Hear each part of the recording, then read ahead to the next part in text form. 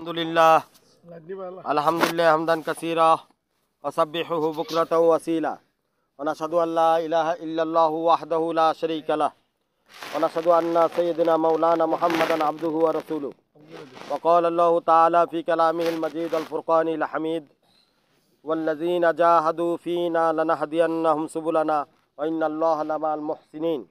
وقال رسول الله صلى الله عليه وسلم من اتقى الله صار آمنا في بلادي أو كما قال عليهم الصلاة والسلام وقال الله تعالى في كلامه المجيد يوم لا ينفع مال ولا بنون إلا من أتى الله بقلب سليم আল্লাহ তালা অশেষ মেহরবানি যে রবুল আলমিন আমাদেরকে মার্কাজুল খুদ্দামুদ্দিনের নামক এক প্রতিষ্ঠানে এসে বসার তৌফিক দান করেছেন রাত অনেক গভীর সংক্ষিপ্ত আলোচনা হবে। আল্লাহ তালা আমাদেরকে শোনার বলার যে তৌফিক দান করেছেন এই জন্যে মহান রব্বুল আলমিনের দরবারে শুক্রিয়া আদায় করি বলি আলহামদুলিল্লাহ। কলব হচ্ছে তিন প্রকার।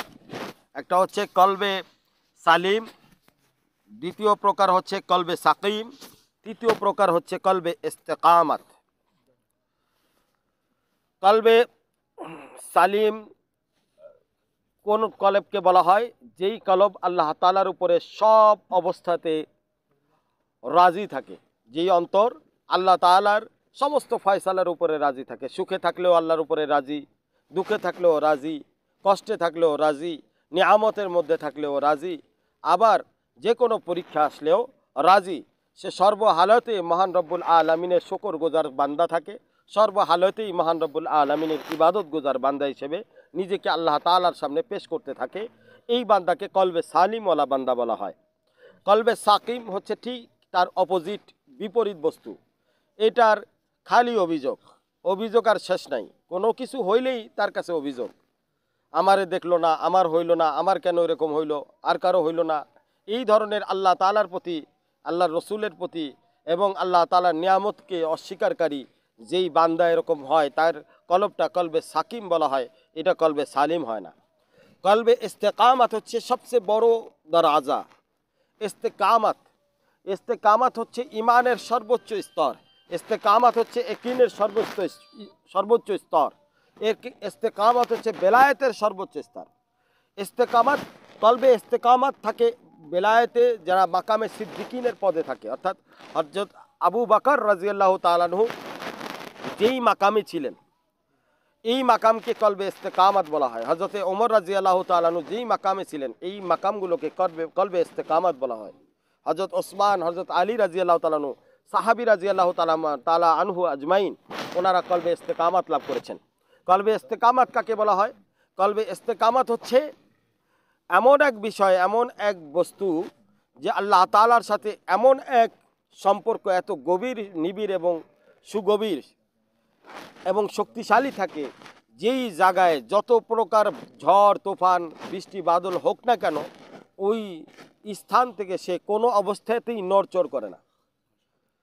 এরকম এক শক্তিশালী বস্তু ইমানি শক্তিকেই কলবে ইস্তেকামাত বলা হয়। এর বরকতে বান্দার ফরজ, নফল, ওয়াজিব, সুন্নত প্রত্যেকটা আমলের তৌফিক হয়।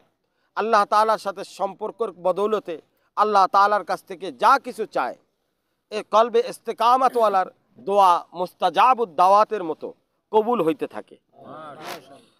হজরত মাওলানা শাহ আশরাফ আলী থানবী রহমতুল্লাহ আলাই যিনি হাকিমুল উম্মদ ছিলেন, তিনি বলতেন, কিয়ামতের ময়দানে এক গুণাগার গুণা করে গুণা করে, এত গুণা করেছে যে যখন তাকে আল্লাহ তালার সামনে হাজির করা হয় তখন সে বড় লজ্জিত অবস্থায় আল্লাহ তালার সামনে উপস্থিত হয়। হাকিমুল আশরাফ আলী থানবী রহমতুল্লাহ আলাই বলেন, এই বান্দাকে আল্লাহ তালা ক্ষমা করে দিলেন কারণ সে গুণা করত, শর্মিন্দা হইত, অর্থাৎ লজ্জিত হইতো আল্লাহর কাছে। আবার সে গুণার থেকে ফিরে ফিরে থাকার চেষ্টা করতো, বেঁচে থাকার চেষ্টা করতো। কিন্তু তারপরেও আবার তার দ্বারা গোনা হয়ে যেত আবার সে গুণার থেকে বাঁচার চেষ্টা করতো। এইভাবে সে গুণার থেকে বাঁচা, বাঁচার জন্য জীবন ভর যুদ্ধ করছে। কিন্তু মাঝে মাঝে তার দ্বারা গোনা হয়ে গেছে। এখন সে আল্লাহ তালার কাছে লজ্জিত। শেষ পর্যন্ত সে গুনার সাথে মোকাবেলা করতে পারে নাই, কিন্তু জীবনটাই সে গুনার থেকে বাঁচার জন্য যুদ্ধ করে গেছে। এই যুদ্ধ করার বরকতে হজরত মালানা আশরাফ আলী থানবী রহমতুল্লাহ বলেন, আল্লাহ তালার কাছে এই আমল অত্যন্ত পছন্দনীয় হয়েছে। যার কারণে আল্লাহ তালা কেমতের ময়দানে তার এই যে যুদ্ধ করছে গুনার থেকে বাঁচার জন্য চেষ্টা করছে এই চেষ্টাটাকে আল্লাহ কবুল করে নিচ্ছে তাকে ক্ষমা করে দিচ্ছে। তাজকিয়া কি জিনিস? তাজকিয়া হচ্ছে অন্তরের অবস্থার পরিবর্তনকে বোঝায়। আল্লাহর এশক এবং মোহাব্বত ছাড়া তাজকিয়া হয় না। অন্তরের পরিবর্তন হয় না। এই জন্যে কোনো না কোনো আল্লাহওয়ালাদের সোহবতে যাওয়া খুবই দরকার। যাতে করে তার অন্তরের অবস্থার পরিবর্তন হয়। এটাকে কাইফিয়াত বলা হয়। এই কাইফিয়াত যখন পরিবর্তন হয় তখন তার তাস্কিয়া হয়ে যায়। আল্লাহ তালা আমাদের সকলকে তাস্কিয়াওয়ালা দেল অর্জন করার তৌফিক দান করেন।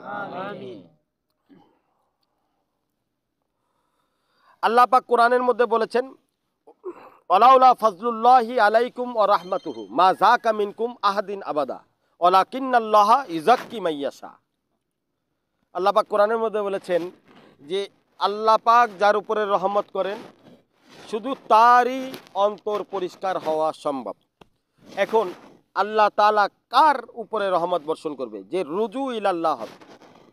সর্ব অবস্থায় আল্লাহর দিকে রুজু থাকবে। সর্ব অবস্থায় আল্লাহর দিকে তাকায় থাকবে। সর্ব অবস্থায় আল্লাহর কাছে চাইতে থাকবে। তো চাইতে থাকো, ডর, ডরতে থাকো, করতে থাকো। চাইতে থাকো, ডরতে রহো, করতে রহো। মাংতে রহো। আমার হজরতওয়ালা করাচি হজরত মালানা আরেফ বিল্লা শাহ হাকিম মোহাম্মদ আক্তার সাহেব নব্বার আল্লাহ মার্কাদাহু উনি বলতেন যে, তিনটা জিনিস প্রত্যেকটা বান্দার সর্ব অবস্থায় করা উচিত। যদি সে আল্লাহ তালার কাছ থেকে পবিত্র আত্মা চায়, সেইটার জন্য তিনটা জিনিস দরকার। সেটা হচ্ছে, মাংতে রহনা চাহিয়ে করতে রহনা চাহিয়ে, ডরতে রহনা চাহিয়ে। আল্লাহর কাছে চাইতে থাকতে হবে। আর আল্লাহওয়ালা হওয়ার জন্য চেষ্টা করতে হবে এবং গুনার থেকে যেন বাঁচতে পারো, এই জন্য আল্লাহকে ভয় করতে হবে। এই তিনটা বিষয় যদি কোনো বান্দার ভিতরে থাকে, সে কলবে সালিম অর্জন করবে তাস্কিয়াওয়ালা দেল অর্জন করবে, ইস্তেকামাতওয়ালা দেল আল্লাহ পাক তাকে দান করে দিবেন। আর এই জন্যে আমাদেরকে কি করতে হবে? প্রতিটি কদমে কদমে এখলাস দরকার। যত বেশি এখলাস হবে, তত বেশি বান্দা আল্লাহ বান্দার আল্লাহ তাআলার সাথে সম্পর্ক হবে। এখলাসের বরকত। এখলাস যত বাড়বে, সম্পর্ক তত বেশি হবে। যত বেশি এখলাস হবে। কারণ এখলাস কি জিনিস? এখলাস হচ্ছে সূরাতুল এখলাস আমরা পড়ছি। কুল হু আল্লাহু আহাদ আল্লাহ সামাদ, লামি আলিদ অলামি ইউলাদ অলামি ইয়াকুল্লাহু কুফুয়ান এখানে আল্লাহ তালা বোঝাইতে চাচ্ছে আল্লাহর পরিচয় দিয়ে যে আমি আলাইসাল্লাহু বিকাফিন আবদা। বান্দার জন্য কি আল্লাহ যথেষ্ট নয়? বান্দা তো বান্দার জন্য তো আল্লাহই যথেষ্ট হবে। এই যে যে যেই বান্দা আল্লাহকেই নিজের জন্য যথেষ্ট মনে করবে তার মধ্যে এখলাস ভরপুর থাকবে। সে প্রত্যেকটা কাজ আল্লাহর জন্য করবে। আমার সাহেব পীর মুর্শিদ আরেফ বিল্লাহ শাহ হাকিম মোহাম্মদ আক্তার সাহেব নাব্বার আল্লাহ মার্কাদাও বলতেন ইস্তারা হামনে তায়ে কি মঞ্জিলে গের পরে গের কার উঠে উঠ কর চলে। আমরা এইভাবেই আল্লাহ পর্যন্ত পৌঁছাইছি যে মাঝে মাঝে চলতে গিয়ে হুচুট খেয়ে পড়ে গেছি, আবার উঠছি, আবার হুচুট খেয়ে পড়ছি। এইভাবে পড়তে, উঠতে পড়তে, উঠতে আল্লাহ পর্যন্ত পৌঁছাই গেছি। সুতরাং কেউ যদি আল্লাহর রাস্তায় চলতে গিয়ে হুসুট খায় পড়ে, সে যেন এটা মনে না করে যে সে আল্লাহ পর্যন্ত পৌঁছাইতে পারবে না। ছোট বাচ্চা চলতে গিয়ে বারবার পড়ে যায় বাবা মার ভালো লাগে। কিন্তু যখন ছোট বাচ্চা আর লোড নিতে পারে না আর চলতে পারে না, তখন বাবা মা তার রহমতের কোলে তুলে নেয়। ঠিক তেমনিভাবে আল্লাহ পাক বাবা মার অন্তরে যেরকম রহমত দিয়েছেন ছোট বাচ্চাকে, যখন ছোট বাচ্চা আর চলতে পারে না, রহমতের কোলে নিয়ে নেয়, ঠিক তেমনিভাবে আল্লাহ পাকও তাই করেন। যখন বান্দা আর চলতে পারে না, কষ্ট হয়ে যাচ্ছে, তখন আল্লাহ পাক তাকে তার রহমতের কোলে নিয়ে যায়। এই জন্যে বলা হয়েছে, মান তলাবা ফাকদ ওয়াজাদা। যে সত্যিকারের মন থেকে আল্লাহকে চায় সে পেয়েই যায় সে পেয়েই যায় এই জন্য আমার শায়েক আর বিল্লা কুতুবে আলম হজরত মাওলানা শাহ হাকিম মোহাম্মদ আক্তার সাহেব নব্বার আল্লাহ মার্কাদাও বলতেন मोहब्बत तो यारब बड़ी चीज़ है ये भी कहा कम है जो तेरे तड़प जो मिली মোহাব্বত তো ইয়ারব বড়ি চিজ হে অর্থাৎ মোহাব্বত তো আল্লাহ, তোমার দান। যদি না দাও, কোথা থেকে পাবো? কিন্তু তোমাকে পাওয়ার জন্য যে ছটফট করতেছি, এই ছটফট করানোওয়ালা দেল, এটা কোথায় পাবো? এটা যে তুমি আমাকে দান করেছ, এটা তোমার মহব্বত পাওয়ার থেকেও বেশি আমার কাছে দামি। কারণ, মহব্বত পেয়ে গেলে, মহব্বত পেয়ে গেলে তো পেয়েই গেলাম। কিন্তু মহব্বত যেহেতু পাই নাই, মহব্বতের জন্য যে আকর্ষণ আমার অন্তরের ভিতরে, এই অন্তর আমাকে তোমার দিকে অগ্রসর করতে সাহায্য করছে। এই আকর্ষণ আমাকে বারবার, দিন বা দিন তোমার দিকেই নিয়ে যাচ্ছে। সুতরাং আমার হজরত আল্লাহ করাচি বলেন, যদি কারও অন্তরের মধ্যে এইটা থাকে, আল্লাহকে চায়, এটা বহুত বড় নিয়ামত। তো এখন যে আলোচনা, সেই আলোচনার মূল বিষয়বস্তু হচ্ছে, আমাদের রুহ জগতের অনেকগুলো অসুখ থাকে। এই অসুখগুলো থেকে আমরা যদি বাঁচতে না পারি, তাহলে আমাদের রুহের চিকিৎসা হবে না, আমাদের অন্তরের সাফাই হবে না, অন্তর পরিষ্কার হবে না। তো এই রুহানি রুহানি অসুখের মধ্যে সব থেকে বড় একটা অসুখ হচ্ছে, যে অসুখের নাম হচ্ছে বকল। এর বাংলা অর্থ হচ্ছে কাঞ্জুস মানে কৃপণতা। কৃপণতা, কৃপণ ব্যক্তি বলা হয়। যারা কৃপণ ব্যক্তি, তাদেরকে বখিল বলা হয়। আরবিতে তাদেরকে বখল বলা হয়। এই জন্যে আল্লাহ পাক কোরআনের মধ্যে বলেছেন অমাই ইউকা সুহা নফসিহি ফা উলাইকা হুমুল মুফলিহুন। আল্লাহ পাক যদি কাউকে এই বখিলের বিমারি অর্থাৎ কৃপণতার অসুখ থেকে পরিত্রাণ দান করে এই অন্তরওয়ালা ব্যক্তি এই বান্দা তো কামিয়াব হয়ে গেছে। কি হয়ে গেছে? কামিয়াব। হয়ে গেছে।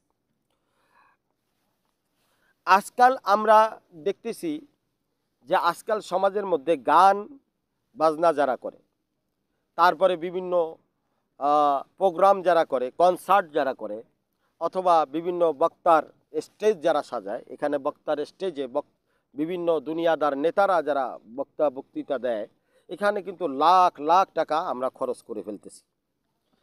অথচ অথচ আল্লাহর রাস্তায় আমাদের আল, খরচ করা তৌফিক হচ্ছে না। এই যে যে আল্লাহর রাস্তায় আমাদের খরচ করা তৌফিক হচ্ছে না, দুনিয়ার লাইনে আমাদের দুনিয়ার লাইনে বিভিন্ন গান বাজনায় আমরা খরচ করতেছি এটার কারণে আমরা আল্লাহ থেকে দূরবর্তী হয়ে যাচ্ছি, নিকটবর্তী হতে পারছি না।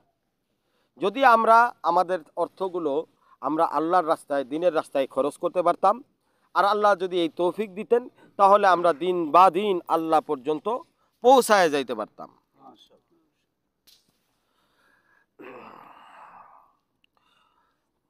ইয়াকুম, হাদিসের মধ্যে আসছে, ইয়াকুম অজুলম ইন্না জুলমা জুলুমাতুন।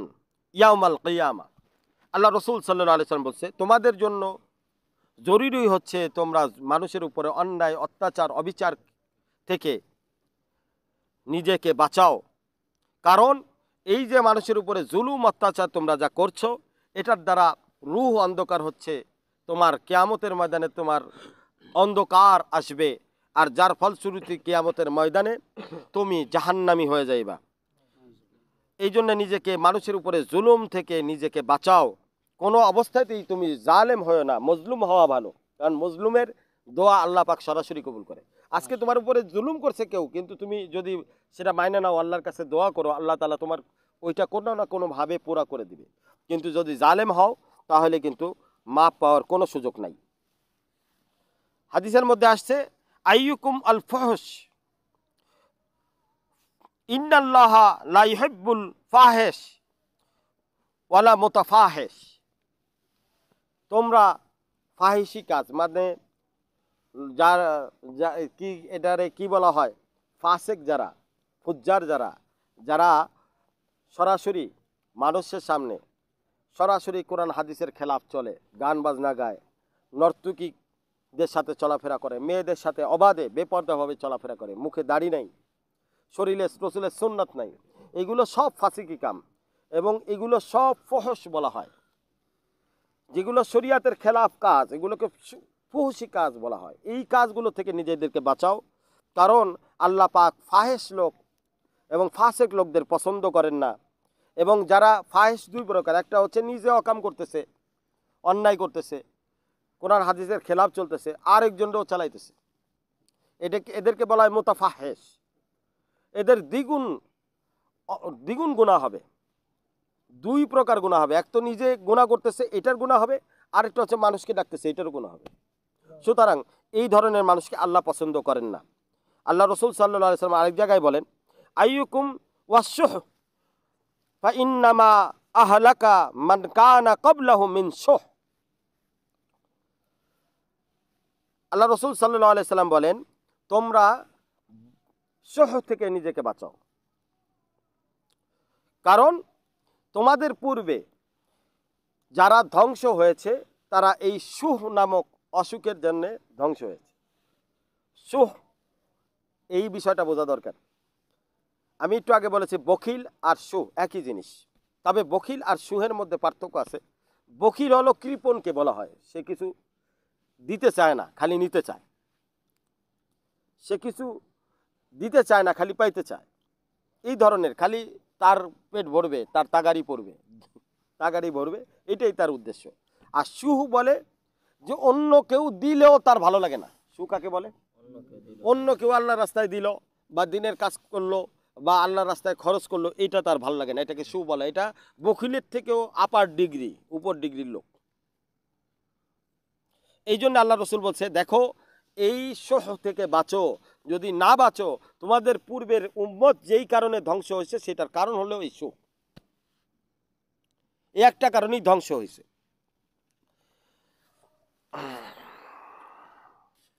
হাদিসের মধ্যে আসছে, নাজা আউয়ালু হাজিল উম্মতি বিল ইয়াকিন ওয়াল জুহদ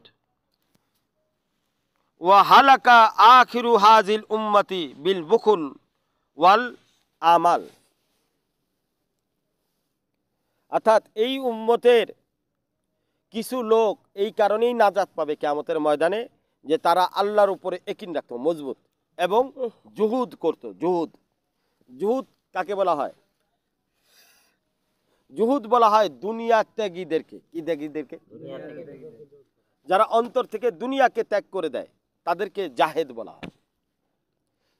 এবং তাদেরকে পর মুজাহেদও বলা হয়, মুজাহ মুজাহেদ। তো এই জন্য মুজাহাদা, এই শব্দটা জুহুদ থেকে আসছে। জাহাদা ইয়াজহুদু জাহাদান ফাহুয়া মুজাহিদুন। এই যে জুহুদ শব্দটা, এটা হলো তখনই তোমার উপরে এটা, এটার প্রভাব পড়বে। তোমার তোমার উপরে এটার সওয়াব হবে, এটা নেকি হবে, তোমাকে আল্লাহ কবুল করবে। যখন তুমি দুনিয়াকে ত্যাগ করে আল্লাহ তালাকে গ্রহণ করবা, আখিরাতকে গ্রহণ করবা। এবং এটা ত্যাগ করতে হলে তোমাকে অনেক কষ্ট করতে হবে, অনেক মেহনত করতে হবে, আল্লাহর উপরে ভরসা রাখতে হবে। এই দুটার কারণে এই উম্মত নাজাত পাবে। এবং এই উম্মতের অনেকেই হালাক হয়ে যাবে দুইটি কারণে, সেটা হচ্ছে কৃপণতা এবং নিজে কৃপণ হওয়া আর আরেকজনকে কৃপণ বানানো। কি বানানো? এই জন্য বলা হয়েছে, সাত জিনিস থেকে পানা চাও। হাদিসের মধ্যে আসছে কানা এটা আউয়াজু মিন খামসিন। সাত জিনিস থেকে পানা চাইতে বলা হয়েছে। হাদিসের মধ্যে মোট কয়টা জিনিস থেকে পানা চাইতে বলছে? পানা চাওয়া মানে আল্লাহর কাছ থেকে দরখাস্ত করা যে আল্লাহ আমার এই সাতটা জিনিস যেন আমার রোগ না থাকে। এই সাতটা রোগ থেকে তোমরা আমাকে তো আল্লাহ তুমি আমাকে বাঁচাও। এই সাতটা রোগ কি কি? মিনাল বখল অর্থাৎ কৃপণতা থেকে। দুই ওয়াল ওয়াল জুবন অর্থাৎ দুর্বল কাপুরুষিকতা থেকে। দুর্বলতা কাপুরুষিকতা থেকে। ওয়াল কাসল অলসতা থেকে। অফিতনাতি সদ্র এবং অন্তরের রোগ থেকে। ও আজাবিল কবর এবং কবরের আজাব থেকে। ওয়াসুহ ইল অমর এবং পরমুখ্য অপেক্ষী বেঈমান হয়ে মৃত্যুবরণ হওয়ার থেকে। ওয়াল আর দালিল অমর এবং অমর মানে বয়স কমে যাওয়ার থেকে। অল ফেতনাদিত দুনিয়া এবং দুনিয়ার ফেতনা থেকে। ফেতনাতিত দুনিয়া, দুনিয়ার ফেতনা থেকে। এই মোট ষাটটি বিষয় থেকে পরহেজ করার জন্য হাদিসের মধ্যে আসছে যে আল্লাহ তালার কাছে দোয়া করা, যে বান্দা দোয়া করা, যে আল্লাহ তুমি এই সাতটা জিনিস থেকে আমাকে হেফাজত করো। হাদিসের মধ্যে আছে আল বুকলু সাজারুতুম মিন আসজারিন নার। হাদিসের মধ্যে আসছে, কৃপণতা হচ্ছে জাহান্নামের বৃক্ষর মধ্যে থেকে একটি বৃক্ষ। যে এই বৃক্ষ লাগায়, কৃপণতা করে, আল্লাহর মাল, আল্লাহর রাস্তায় খরচ না করে, নিজের তাগারি বরে হ্যাঁ অন্যায় শরিয়াতের বিরুদ্ধে চলে, দুনিয়া কামাইতে চায়, এরা কি করতেছে? জাহান নামে গাছ লাগাইতেছে। কি লাগাইতেছে? গাছ যে যেই জায়গার গাছ লাগবে সে যাবে কোথায়? সেই গাছেই তো যাবে।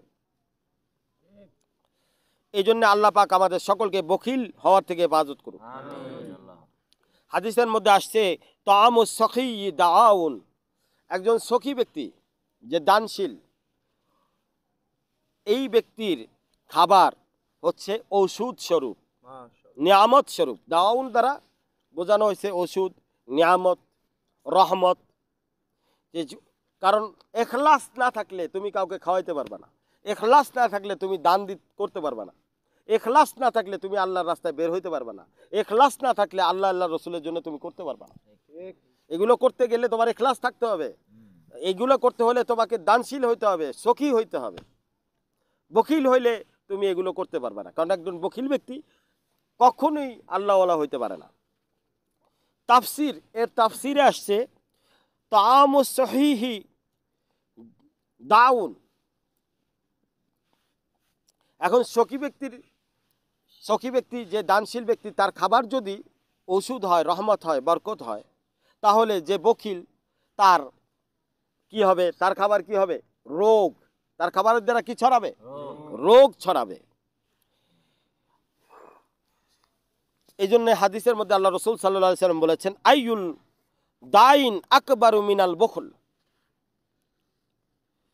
আইউল দাইন আকবরু মিনাল বখল? বখিলতা কৃপণতার থেকে বড় রোগ পৃথিবীতে আর কোনো রোগ নাই। এর থেকে বড় রোগ আর নাই। এর থেকে বড় রোগ আর হয় না, আল্লাহ রসুল বলেছে এটাই সর্বোচ্চ রোগ। কবিতা, বখিলার চেবা সাদ তাওয়াঙ্গার বা মাল।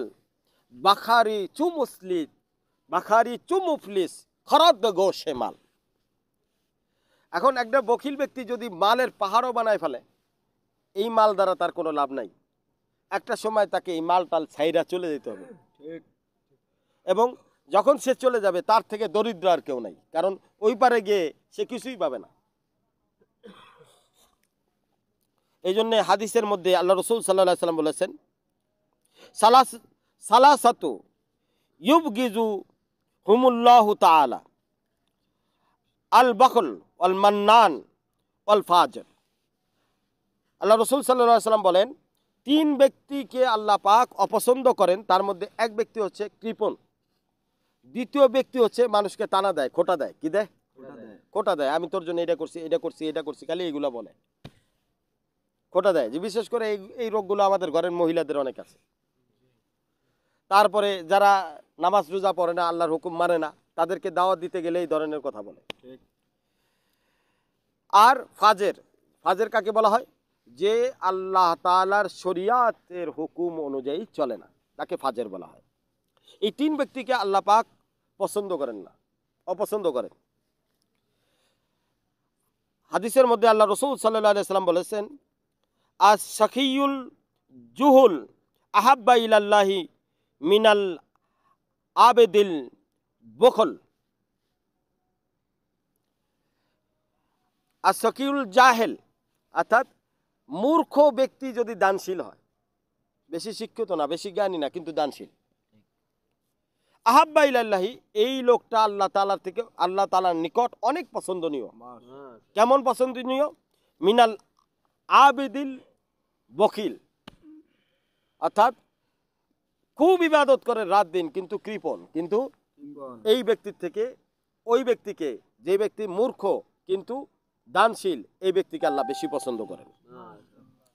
নবী করিম সাল্লাহ আলাইসাল্লামের জামানায় আদি বিন হাতেম নামে এক ব্যক্তি আল্লাহ রসুল সাল্লাহ আলাইসাল্লামের নিকট আসলেন। তখন আল্লাহ রসুল সাল্লাহ আসলাম স্বয়ং দাঁড়ায় গেলেন এবং ওই আদি বিন হাতেমের খেদমত করা শুরু করলেন একরাম করা শুরু করলেন। কারণ কি? তিনি বললেন যে, তোমার পিতা হাতেম তাই অনেক দানশীল ছিল। সে মানুষের অনেক উপকার করে গেছে। তুমি তার সন্তান। তাই আমি স্বয়ং আল্লাহ রসুল হয়েও আমি তোমার একরাম করতেছি। তাহলে আল্লাহ রসুল সাল্লাহ সাল্লাম দেখেন যে, হাতেম তাই দান, দানবীর ছিল। তার ছেলে একরাম স্বয়ং আল্লাহ রসুল করেছেন। তো এর দ্বারা আল্লাহ রসুল সাল্লাহ সাল্লাম কি বুঝাইতে চাচ্ছেন? যে আল্লাহর কাছে এক আল্লাহর কাছে দানশীল ব্যক্তির কদর কতখানি? যে আল্লাহ রসুল তার কদর করে সাহাবিদেরকে বুঝাই দিলেন। তো আপনারা যদি দানশীল হন, আপনাদের সন্তানদের সাথেও ভালো ব্যবহার করা হবে। তো সুতরাং যারা দানশীল দানশীল হবেন, দিনের লাইনে দান করবেন, আল্লাহ তালা তাদেরকে ঠকাবেন না, তাদেরকে দিতেই থাকবেন। হাদিসের মধ্যে আল্লাহ রসুল সাল্লাহ সাল্লাম বলেন লাইয়াস্তামিউন সুহু ওয়াল ইমান ফি কলবি আবদিন। একটা মানুষের মধ্যে কৃপণতা আর ইমান এক হইতে পারে না। কি হইতে পারে না? আল্লাহ রসুল সাল্লাহ আসলাম বললেন এটা কখনোই সম্ভব না। যে কৃপণ হবে সেই ইমানদার ইমানওয়ালা হবে না। ইমানওয়ালা কখনো কৃপণ হইতে পারে না। হাদিসের মধ্যে আল্লাহ রসুল সাল্লাহ সাল্লাম বলেছেন খসলাতানে লা তাস্তামিয়ানে ফিল মুমিন। দুইটি গুণ কখনো মানুষের মধ্যে একত্রে থাকতে পারে না। সুউল খোলক ওয়াল বুখল, খারাপ চরিত্র এবং কৃপণতা, এই দুইটা গুণ কখনো কোনো মুমিন বান্দার সাথে একসাথে থাকতে পারে না। অর্থাৎ মুমিন বান্দা কখনো খারাপ চরিত্র হয় না, অহংকারী হয় না। মুমিন বান্দা কখনো অত্যাচারী হয় না। মুমিন বান্দা কখনো খেয়ানতকারী হয় না। মিথ্যাবাদী হয় না, জেনাকার হয় না, গুণাগার হয় না, আর কৃপণ হয় না। কারণ গুণাগার হয় না বলতে কি গুণা তো হয়েই যায়, কারণ তবাকারী হয়ে যায়, মুমিন বান্দা কি হয়ে যায়? তায়েব হয়ে যায়। কৃপণতার উপরে মুমিন বান্দা টিকে থাকতে পারে না, কারণ মুমিন হইলে তার আল্লাহর উপরে কিন থাকে, বিশ্বাস থাকে। এই জন্য তার হাত সবসময় লম্বা থাকে। কি থাকে? হাত লম্বা থাকে। কারণ আল্লাহর প্রতি তার বিশ্বাস আছে। আল্লাহ তাকে ঠকাবে না। হাদিসের মধ্যে আল্লাহ রসুল সাল্লাম বলেছেন লায়ামবাগি লিল মুমিনিন আইয়াকুনা বখিলাউ ওয়ালা জব্বানা। মুমিনের জন্য উচিত নয় যে সে কৃপণ হোক অথবা কাপুরুষ হোক। এই দুইটা মমিনের জন্য কখনোই আল্লাহ রসুল সাল্লাহ বলেন, আমি কামনা করি না। কি করি না? একজন মুমিন বান্দার ভিতরে এই দুইটা গুণ থাকুক, এটা আমি কখনো আশা করি না। হাদিসের মধ্যে আসছে, আল্লাহ রসুল সাল্লাহ সাল্লাম বলেছেন, ইন্নাল বখিলা বাইদুম মিনাল্লাহ আজ্জা ওয়াজাল বাইদুম মিনান নাস বাইদুম মিনাল জান্নাহ অকরিবুম মিনান্নার নিশ্চয়ই যারা কৃপণ হয়, তারা আল্লাহ তালার রহমত থেকে, আল্লাহ তাল্লাহর রহমত থেকে দূরে সরে যায়। যারা কৃপণ হয়, তারা আল্লাহর প্রিয় বান্দাদের থেকেও দূরে সরে যায়। যারা কৃপণ হয়, তারা জান্নাত থেকেও দূরে সরে যায়। এবং জাহান নামের নিকটবর্তী হয়ে যায়। হাদিসে কসম, আল্লাহ রসুল সাল্লাহ সাল্লাম এমনি বললেই তো যথেষ্ট, কসম করার তো আল্লাহ রসুলের প্রয়োজন নাই। আল্লাহ রসুল এখানে কসম করে বলতেছে ওয়াল্লাজি নফসি বিয়াদিহি জান্না আমি সেই জাতের কসম করতেছি, যেই জাতের হাতে আমার জান নিশ্চয়ই বকিল জান্নাতে প্রবেশ করবে না করবে না করবে না। বকিল কখনোই জান্নাতে যেতে পারবে না। তার মানে বোঝাই যাচ্ছে যে বকিল হওয়া, কৃপণতা হওয়া এমন এক অসুখ এবং সোহ, এর চেয়েও বড় অসুখ। নিজে তো বকিল আরেকজনেরও বকিলের উপরে চালায়। আরেকজনের দান দিলে, দক্ষিণা করলে আরেকজনের দিনের কাজ করলে তার পছন্দ হয় না। এটাকে সু বলা হয়। এই দুইটা বড় অসুখ এই দুইটা অসুখ থেকে আমাদেরকে বাঁচতে হবে। বকিল হলো মাল থাকা সত্ত্বেও খরচ করে না সু হলো সে নিজেও খরচ করে না অন্যকেও বাধা দেয় অন্যর খরচ করাটা সে পছন্দ করে না। এবার হাদিসের জান্নাত শুনেন। জান্নাতের এক হাদিস রসুল সাল্লাহ সাল্লাম বলেন কলাতিল জান্নাতু তু বালিমান দাখালানি। জান্নাত বলল তার সৌভাগ্য যে আমার ভিতরে প্রবেশ করল। কল আল্লাহ তাআলা, ওয়া ওয়া ইজ্জতি লা আসকান্তু ফিল জান্নাতি আল্লাহ তাআলা তখন জান্নাতকে বলল, এ জান্নাত, শোন, তোর ভিতরে যে ঢুকবে সে তো সৌভাগ্যবান বটে। কিন্তু বখিলকে আমি, আমার ইজ্জতের কসম, আল্লাহ বলতেছে, এর আগে রসুল কসম কাটছে, এবার আল্লাহ বলতেছে, আমার ইজ্জতের কসম, বখিলকে আমি জান্নাতে থাকতে দিব না। যে কৃপণতা করবে, মালকে ধরে রাখবে, আমি তাকে জান্নাতে প্রবেশ করতে দিব না। এবার আকুয়ালে ওলামা ওয়াল আউলিয়া। ওলামা এবং অলিদের মতামত এর উপরে কি? উম্মতে উম্মতে আউলিয়া এবং ওলামাগণ বলেন, পাঁচটি জিনিস থেকে পরহেজ করা উচিত। এই পাঁচটা রোগ যাদের ভিতরে থাকবে, তাদের থেকে বাইচে থাকা উচিত। কি থাকা উচিত? এক নম্বর হলো দুনিয়া লোভী আলেম। ওই আলেম যার খালি দুনিয়ার লোভ, খালি দুনিয়া চাই, এদের থেকে বাঁচতে হবে। দুই নম্বর, ফাসেক শায়েক। কি শায়েক? অর্থাৎ আল্লাহওয়ালা বনে আছে কিন্তু নিজেই ফা- ফুসুক করতেছে নিজেই গুণা করতেছে আছে না এরকম আটরসি ভান্ডারি দেওয়ানবাগি আছে কি না হ্যাঁ এই ধরনের শায়েক থেকে নিজেকে বাঁচাইতে বলা হয়েছে একটা কবি কবিতা শুনেন মুরিদে সাদা তো रो रो कर हो गया तायब खुदा करे शायक को भी ये মাকাম মাকাম হাসিল হো যায় অনেক অনেক শায়েকের মুরিদরা তার শায়েকের কাছ থেকে সবক নিয়ে কান্না কান্নাকাটি কইরা সে আল্লাহওয়ালা হয়ে গেছে। কিন্তু শায়েকের তৌফিক হয় নাই। কি হয় নাই? সুতরাং হজরতে দোয়া করতেছে শায়কও যেন এরকম হয়। কি হয়? আল্লাহওয়ালা হয়। তিন নম্বর ওয়াল বকুল ফিল গন গনি। অর্থাৎ ধনী ব্যক্তিদের মধ্যে যদি কৃপণতা দেখো এই সকল ধনী ব্যক্তিদের থেকে নিজেকে বাঁচাও। অল কিসবু, জাল হাসাবি, ওয়ান নাসাবি। অর্থাৎ বড় বড় খানদানওয়ালা লোক যদি মিথ্যাবাদী হয়, নিজেকে সৈয়দ বংশ বলে দাবি করে, কিন্তু মিথ্যা কথা বলে। কি বলে? মুখে দাড়ি নাই। কি নাই? শরীরে সুন্নত নাই। এরা সৈয়দ বংশ দাবি করলেও এরা সৈয়দ না। হাকিকাতে সৈয়দ হলো তারা, যারা রসুলের অনুসরণ করে। এরা হাকিকাতে সৈয়দ না, এরা মাজাজি সৈয়দ। নিজেকে সৈয়দ খানদান দাবি করতেছে। অথচ মিথ্যা কথা বলে, অথচ রসুলের সুন্নাতের খেলাপ চলে। রসুল যেটা করতে বলছে সেটা করে না, অথচ সৈয়দ বলে নিজেকে দাবি করে। এই জন্যে যারা নিজেদের খানদানি বড়াই দেখায়, অথচ সেই খানদান আল্লাহ আল্লাহ রসুলের পথে চলে না, এদের থেকে নিজেকে বাঁচাও। ওয়াসিদ্দাতু ফিস সুলতান।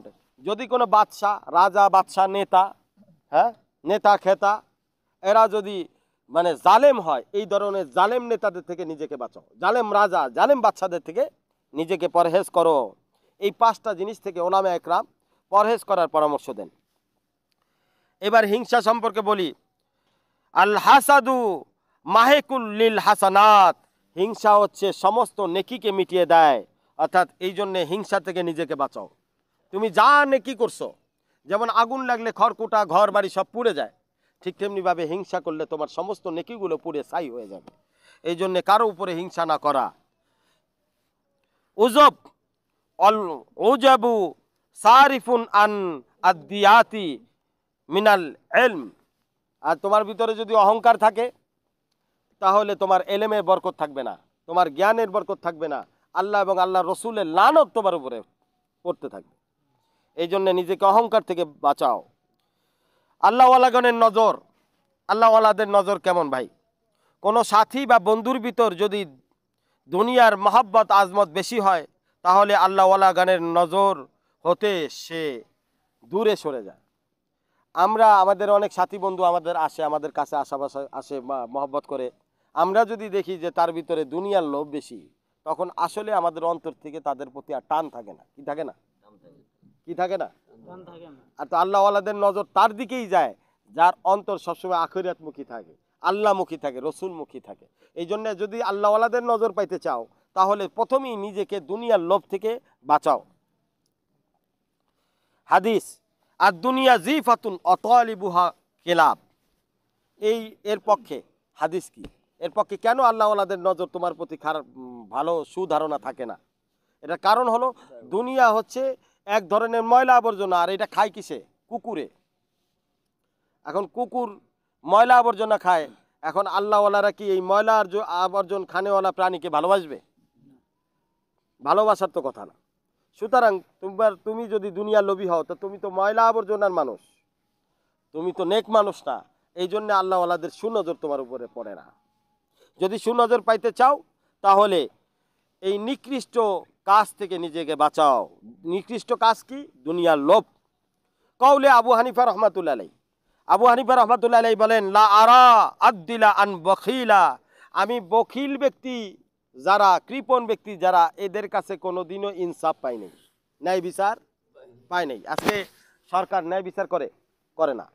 বিভিন্ন এলাকার মেম্বার, চেয়ারম্যান, এরা ন্যায় বিচার করে না। তারপরে উকিল, ব্যারিস্টার কি করে না? ন্যায় বিচার করে না। টাকা পাইলেই হ্যাঁ টাকা পাইলেই অন্যায় রে ন্যায় বানায় ন্যায় রে। অন্যায় বানায়। ওদের কাছে টাকাটাই বড়। এই জন্যে কারণ কি? কারণ হচ্ছে এরা বখিল, দুনিয়া লোভী।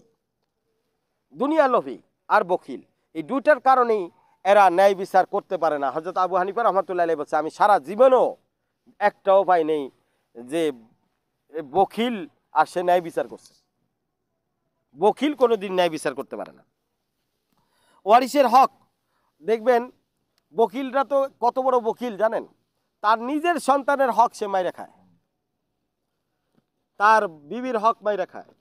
তার ছেলের হক মেরে খায় মেয়ের হক মেয়ে খায়। আবার ভাইরা যদি বকিল হয় বোনদের হক দেয় না। আজকাল সমাজের মধ্যে এটা আছে না? এই জন্য দেখেন বকিল হওয়াটা কত বড় এক ধরনের গোনা যে এখানে অরিসের হক মাইরে খাওয়াটাও আছে। বকিলদের গিবত করলে গোনা হবে না। কি হবে না? বুজুর্গরা বলেন, আল বকিলা লা গিবত আলাহু বকিল তো বকিলি তার আবার গিবত করে সে, গিবত কি? বকিল তো আল্লাহ রসুলই কইছে বকিল কৃপন তাহলে আল্লাহ রসুল যেহেতু বলছে কৃপন এটা তো কৃপন মানে কি? বলাটাই তো একটা গিবত। কৃপন শব্দটাই একটা গিবতী শব্দ। কি শব্দ? এখন যে কৃপন আল্লাহ রসুল তাকে কৃপন বলছে। সুতরাং এইটা, এই বকিল শব্দ কাউকে বকিল বললে কৃপন বললে এইটার গিবত গিবত হবে না। এটার গিবতের গোনা হবে না। যদি সে সত্যিকারের বকিল হয়, তাহলে তাকে বকিল বললে কি হবে না? গোনা হবে না। আর যদি সে বকিল না হয় তারপরে তুমি বলো, তাহলে তোমার গোনা হবে।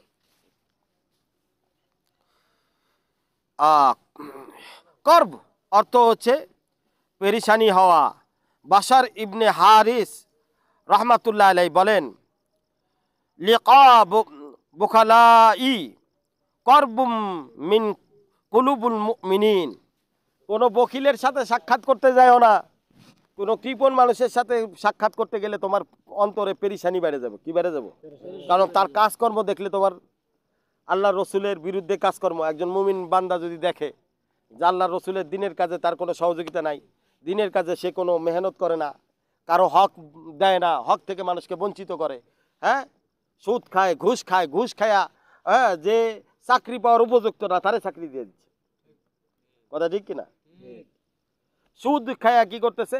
যে বড় লোকরে বড় লোক বানাইতেছে, গরিব রে গরিব বানাইতেছে। এই ধরনের বকিলের কাছে যায় না, এদের সাক্ষাতে গেলে মুমিনের পেরিসানি বেড়ে যায়। আল্লাহর আজাবের ফয়সালা মোহাম্মদ বিন আলমুন কাদির রহমাতুল্লাহ বলেন ইজা আরাদ আল্লাহ বিকৌমিন সাররুন আম্মারা আলাইহিম শিরারুন ও রাজাকাহুম বিআইদি বুখালাইহিম। যখন আল্লাহ পাক কোনো কওমের উপরে, কোনো গোত্রের উপরে আজাব দেওয়ার চিন্তা ভাবনা করে, তা আল্লাহ কি করে জানো? আল্লাহ ওই গোত্রের মধ্যে যারা বকিল আছে, এদেরকে সর্দার বানায় দেয়। কি দেয় এখন কি করে বকিলরা করে কি তাদের সমস্ত রিজিক খরব করে? কি করে? হরব করে তখন ওই এলাকার মানুষ সবাই কষ্ট পায়। কি পায়? এই যে সুতরাং সাবধান। আপনারা বখিলাতি করেন না তাহলে বকিলদের সর্দার বানাই দিব আপনার উপরে। আপনার উপরে কি করবে? বকিলদেরকে সর্দার বানাই দিবে। কি দিবে? তখন আপনাদের রিজিকের বিভিন্ন সমস্যা তৈরি হবে। এক বুজুর্গ বলেন লাকানা বুখলু তরিকান মা সালাক্তুহু ওয়ালাউ ওয়ালাউ কানা লেবাসান মা লাবিস্তুহু। যদি বকিল আর কৃপণতা কোনো রাস্তা হইতো, আমি ওই রাস্তায় জীবনও চলতাম না। এই বকিল হওয়া, কৃপণ হওয়া যদি কোনো লেবাস হইতো, কোনো পোশাকের নাম হইতো, তাহলে আমি ওই পোশাক জীবনেও পরিধান করতাম না। ইবনে আবিদ দুনিয়া হতে বর্ণিত নবী করিম সাল্লাহ আলাইসাল্লাম বলেছেন কুসিমাল হিফজুহু আশারাতা আজজাইন ফাতিস আতুন ফিত্তুরুক। এটা কি আর খুব গুরুত্বপূর্ণ হাদিস? কি হাদিস? এবং এবং খুবই তাহাকিকপূর্ণ একটা হাদিস। এই হাদিসটা আজ পর্যন্ত আমি কোনো ওলামা একরামদের কাছ থেকে শুনি নাই। আমি আপনাদেরকে শোনাচ্ছি। যেহেতু হাদিস, তাই আমার জন্য জরুরি হয়ে পড়ছে শোনানো। আমি আল্লাহর উপরে ভরসা করে আপনাদের সামনে শুনিয়ে যাচ্ছি। কুসিমাল হেফজুহু আশারাতা আজে জাইন ফাতিস আতুন ফিতরুক আল্লাহ তাআলা এই হেফজোকে, হেফজো মানে যে কোনো জিনিস মুখস্থ করার শক্তি। এই হেফজোকে দশটি ভাগে ভাগ করছেন? তার মধ্যে নয় ভাগ দিচ্ছেন তুরক মানে তুর্কিস্তানের আশপাশের লোকদেরকে। আগে তুর্কিস্তান কিন্তু ছোট, এই শুধু এই ইয়ে ছিল না। এই যে বর্তমান যে, কি বলা হয়, যেটা নিয়ে কথা চলতেছে, যে যেখানে ভূমিকম্প হইল। তুরস্ক। এই তুরস্ক আগে এত, শুধু এতটুকু ছিল না, বিশাল ভূখণ্ড ছিল। তো এই ওই সময় আল্লাহ রসুল এই কথা বলেছেন। সুতরাং তুরস্কের আশেপাশে বলতে দেখা গেছে ওই জায়গার এলাকার যারা তৎকালীন সময় ইরাক এবং আশেপাশে কি বলে হ্যাঁ হ্যাঁ? মধ্যপ্রাচ্য। মধ্যপ্রাচ্যের মধ্যে ওই সময় বোখারা ছিল। এই বোখারা তারপরে বড় বড় এখানে আলেমোলামা থাকতো তো বড় বড় আল্লাহর অলি ওখানে তৈরি হয়েছে তো আল্লাহ পাক ওখানে নয় ভাগ দিছেন আর বাকি এক ভাগ সারা বিশ্বে দিছেন, ভাগ করে। কুসিমাল বকুলু আশারাতা জেজাইন ফাতিস আতুন ফিল ফারেস। বুঝছ? মানে বকিলকে আল্লাহ পাক দশ ভাগে ভাগ করছেন। তার নয় ভাগ দিছেন আল্লাহ পাক ফারেস ইরানবাসীদেরকে। ইরান বলতে শুধু এই ইরান বোঝানো হয় না, ইরানের আশপাশে আরও অনেক এলাকা আছে। তৎকালীন সময়ে এদেরকে বোঝানো হয়েছে আর তুর্কি স্থান বলতে অলিদের স্থান বলা হয়েছে। কি বোঝা বোঝানো হয়েছে? যেখানে আল্লাহ পাক হেফজো করার শক্তি বেশি দিছে জ্ঞান বেশি দিছে। এটা আল্লাহর অলিদের স্থান ছিল কারণ সমস্ত সিলসিলা তুর্কিস্তান হয়ে ঘুরে যায়। ইরাক হয়ে ঘুরে যায়। কি যায়? ইরাক হয়ে ঘুরে যায়। আর বকিল দ্বারা বোঝানো হয়েছে ফারেস এখানে এর দ্বারা বোঝানো হয়েছে যে বকিল কারা যাদের রং সাধারণত সুন্দর হয়। কি হয়? এই রং সুন্দর বলতে কীরকম? মানে রং সুন্দর বলতে অহংকার করা। কি করা? অর্থের অহংকার টাকার অহংকার যাদের বেশি হয়। তখন ইরান এবং ফারেস এলাকা অনেক ধনী ছিল। কি ছিল? এই জন্য ওই জায়গার লোক বকিলও ছিল বেশি। জন্য ধনী বেশি যদি যেখানে হয় সেখানে কিন্তু বকিল বেশি থাকে। আর গরিব মানুষের মধ্যে বেশি দানশীলতা থাকে। দেখবা গ্রামগঞ্জে ফকির আসলে চাল ডাল সব দিয়ে দেয়। আর ধনী মানুষের বাড়িতে গেলে নক করতেই থাকে করতেই থাকে, তাও কোনো আওয়াজ পাওয়া যায় না। এখন এখানে ফারেস দ্বারা এটাও বোঝাইতে বোঝাইতে পারে এই বকিল দ্বারা, যেখানে ফারেসের লোক, ওখানে ইরানের লোক সুন্দর, সুন্দরী বেশি। দুই নম্বর হচ্ছে এরা তখন ধনী ছিল অত্যন্ত। কারণ আগেরকার এই সময় এই ফারেসটা খুব নামকরা এলাকা ছিল, নামকরা রাজনীতি স্থান ছিল। আর অজুদ হুন ফিসাইরিন নাস, এক ভাগ সমস্ত মানুষকে দেওয়া হয়েছে সারা বিশ্বে। কসিম কসিমাল সাখাউ আশারাত আজজাইন ফাতিস আতু ফিস এবং সখী মানে যারা দানশীল, এটাকে দশ ভাগে আল্লাহ পাক ভাগ করেছেন। তার মধ্যে নয় ভাগ আল্লাহ পাক সুদানে দান করছে কয়েক ভাগ? সুদান বলতে তখন এটা বিশাল এরিয়া ছিল। হজরত বিলাল রাজি আল্লাহ তালন সুদানে ছিলেন। এখন সাউথ আফ্রিকা, অর্থাৎ আফ্রিকার যে আশপাশের এলাকা তখন আমেরিকা হয় নাই। আমেরিকা ছিল না। ওই তখন এই, ওই সাইডটাকে এই সুদানের এরিয়াই বলা হতো ঠিক আছে? তো ওই ওই জায়গায় দানশীল ব্যক্তি বেশি। এখনও সাউথ আফ্রিকায় বা ওই সাইডের মানুষ অনেক বেশি দান করে। আর যুদ হুন ফিসাইর দুনিয়া এক ভাগ সমস্ত দুনিয়ার মধ্যে দেওয়া হয়েছে। এখন সুদান বলতে আরেকটা বিষয় বলা হয়, এখানে কালো রঙের মানুষ বেশি, কি বেশি? কালো রঙের মানুষ বলতে বোঝানো যায় যে অধিকাংশ যাদের চেহারা বা যারা একটু দুর্বল যারা অর্থের দিকে দুর্বল চেহারার দিক দিয়ে দুর্বল তাদের মন কিন্তু সাদা থাকে। কি থাকে? তারা তাদের মনের মধ্যে মায়া মহব্বত বেশি থাকে। তারা কিন্তু দানশীল হয়। আমাদের বাংলাদেশের মানুষ কিন্তু সবই এক হিসাবে কালা। কি? চেহারা অনেকের ফর্সা কিন্তু অনেক জায়গায় সব জায়গায় তার ফর্সা না। ঠিক আছে? ফর্সা বলতে কি বোঝানো হচ্ছে? নখটা পর্যন্ত ফর্সা হবে। বুঝাইতে পারছি? একের পাও থেকে মাথা পর্যন্ত সব কিছু বর্ষা হবে। এখন সব বর্ষা না একেবারে টকবগে ফর্সা হব। তো এই জন্যে আমাদের দেশের কিন্তু অধিকাংশই কালো, যার কারণেই আমাদের দেশের মধ্যে দানশীলতা আছে। তারপর দেখবা ইন্ডিয়ার মধ্যে ওলামা একরামদের মধ্যে দানশীলতা আছে, পাকিস্তানে আছে। হ্যাঁ তো এইখানে কেন? এই কারণটা হলো যে এখানে সুদান দ্বারা বোঝানো হয়েছে, এটাও বোঝাইতে পারে আল্লাহ রসুল, যেখানে কালো রঙের ইশারা করা হয়েছে। কি করা হয়েছে? হ্যাঁ কুসিমাল হায়াউ আশারাত আজাইন ফাতিস আতুফিল আরব। আর লজ্জাকে দশ ভাগ করছেন আল্লাহ তালা কয় ভাগ করছেন? তার মধ্যে নয় ভাগ আল্লাহ পাক আরবদেরকে দিয়েছেন আর জুদহুন ফি সাইরিন নাস এক ভাগ সারা বিশ্বে আল্লাহ বন্টন করেছেন। এই- জন্য হজরত ওসমান গনিকে জুন নুরাইনকে লাজুক বলা হতো উনি অত্যন্ত লাজুক ছিল ঠিক আছে? বিশেষ করে আরব বলতে আরব মহাবিশ্ব। এখানে আরব বলতে আরেকটা বিষয় বোঝানো হয়েছে। তৎকালীন সময়ে আরব দেশের মধ্যে কি ছিল? রসুল সাল্লাহ সাল্লাম স্বয়ং ছিলেন এবং সুন্নাতের আমল ছিল। কি ছিল? যারা সুন্নাতের উপরে জিন্দিগি অবলম্বন করে, তারা লাজুক হয়। কি হয়? আল্লাহ রসুল এখানে ইশারা করছে, সুন্নাতের উপরে জিন্দেগি, আরব বলতে। কারণ হাদিসের মধ্যে আমরা অনেক সময় হাদিস পড়তে গেলে দেখা গেছে আল আরব আল আরব, এই কথাটা আসে।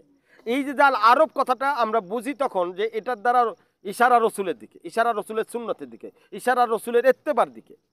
যারা আরব মহাবিশ্বে আল্লাহ রসুলের এত্তেবা করত, তারা সবাই লাজুক ছিল। কি ছিল? হ্যাঁ মেয়েদের দিকে তাকাইতেন না। আর আমরা ফুসুত ফুসুত করে তাকাই। সুতরাং আমরাও ভাই, কারণ হচ্ছে রসুলের সুন্নত থেকে আমরা দূরে। এই ফুসুত ফুসুত তাকানি বাদ দিয়া এক রসুলের সুন্নতের উপরে আসেন ইনশাআল্লাহ। কুসিমাল কি কি বরু আশারাত আজাইন ফাতিস আতু ফির রুম। এখন এখানে আরেকটা বলা হয়েছে যে অহংকারকে দশ ভাগে ভাগ করা হয়েছে, তার মধ্যে নয় ভাগ দেওয়া হয়েছে রুমকে, অর্থাৎ আহলে শামকে, অর্থাৎ মাগরিবি এলাকাদের এলাকাদেরকে। মাগরিবি এলাকার মধ্যে ধনী লোক বেশি, কি বেশি? এই কারণে এদের মধ্যে অহংকারও বেশি, কি বেশি? অহংকারও বেশি। এই জন্য সম্পদশালী হওয়া ভালো না। বেশি সম্পদ হলে অহংকার চলে আসে। আ, আল্লাহ তালা আমাদেরকে হ্যাঁ ও এরকম সম্পদ না দান করুক, যা যেই সম্পদ দান করলে আমাদের ভিতরে অহংকার চলে আসে। হাদিস, নিয়ামাল মালু সালিহু লি রজুলিন সালেহ। সব থেকে উত্তম মাল হলো সলে যারা আল্লাহওয়ালা, যারা দিনদার, তাদের মাল। তাদের হাতে মাল থাকলে কেন এটা সব থেকে উত্তম? কারণ দিনদার লোক দিনের পথে খরচ করে। কি করে? আর দুনিয়াদার লোকের কাছে মাল থাকলে দুনিয়ার পথে খরচ হয়। দিনদার মানুষের কাছে মাল থাকলে দিনের পথে খরচ হয়। এই জন্যে হাদিসের মধ্যে আল্লাহ রসুল বলছে যে, ওই মালটাই উত্তম যারা যেই মালটা কিনা সলেহ বান্দার কাছে থাকে। এখন বকিল তিন প্রকার। কয় প্রকার বকিল? এক নম্বর হচ্ছে আহাল ইয়ালের উপরে খরচ করেন। আহাল ইয়াল বলে নিজের পরিবার, আত্মীয় স্বজন, পাড়া প্রতিবেশীর উপরে খরচ করে না। দুই দুই নম্বর বকিল হলো সরই আইন লঙ্ঘন করে, যেমন সৎকা দেয় না, দান করে না, ঠিক আছে? হ্যাঁ? কোরবানি দেয় না, হজ করে না। হ্যাঁ তার উপরে কি বলে, ওই যে কি বলে আকিকা আছে, আকিকা দেয় না। এই যে যে দিনের বিপদ আপদ আসলে সৎকার দান খরাতের উৎসাহ করা হয়েছে জাকাতের উৎসাহ করা হয়েছে। এই শরীয়তের আইন যারা লঙ্ঘন করে এরাও বকিল এরাও কি? বকিল তারপরে হচ্ছে তিন নম্বর বকিল যারা আখিরাতের পুঁজি সঞ্চয় করে না। কি করে না? কিছু লোক আছে খালি শরীয়তের উপরে এই সীমাবদ্ধ থাকে। কিন্তু আখিরাতের পুঁজি সে সঞ্চয় করতে হবে তার কিন্তু কিন্তু তার ফিকির নাই। সে ওই পর্যন্তই থাকে শরিয়াতে যা বলছে। কিন্তু এরপরে যে আমি আখিরাতের পুঁজি আরও বেশি দান করলে বেশি সৎকা করলে বেশি হজ করলে বেশি রোজা রাখলে বেশি জাকাত দিলে বেশি মসজিদ মাদ্রাসা খরচ করলে আমার যে আখিরাতে পুঁজি হবে এটা যার ফিকির নেই এটারও বকিল বলা হয়। কি বলা হয়? একটা ঘটনা কোনো এক নওজোয়ান কোন এক বুজুর্গর নিকট গেছে। যাওয়ার পরে বলল যে আমার সংকীর্ণতা সবসময় মনের মধ্যে একটা ভয় থাকে। কি ভয়? যে আমি আমার মাল সম্পদ কমে যাবে, ধন সম্পদ কমে যাবে, এই ভয় থাকে। তখন ওই বুজুর্গ বলল, তোমার মাল সম্পদ যা আছে আল্লাহ রাস্তায় দিয়ে দাও। তখন সে আল্লাহ রাস্তায় সব দিয়ে দিল। কিছুদিন পরে সেই নওজোয়ান এসে ওই বুজুর্গকে বলল, বড় আশ্চর্যের ব্যাপার, হুজুর, দান মাল সম্পদ সব দান করে দেওয়ার পর এখন ধান সম্পদ আমার কাছে আসুক, এটা মনে করলেই আমার ভয় লাগে। ধান ধান, ধন সম্পদ আমি দান করতে পারলেই আমার ভালো লাগে। এই ব্যাপারটা কি? তখন ওই বুজুর্গ বলল যে, দেখো মাল যেখানে, যান সেখানে। মাল যেখানে, অন্তর সেখানে। মাল যেখানে, যান সেখানে, অন্তরও সেখানে। এখন মাল চলে গেছে আখিরাতে। যান কই গেছে? আখিরাতে। অন্তর কই গেছে? আখিরাতে। এই জন্য তোমার এরকম মনে হচ্ছে। আল্লাহ পাক এই জন্য তোমাকে পরিবর্তন করে দিচ্ছে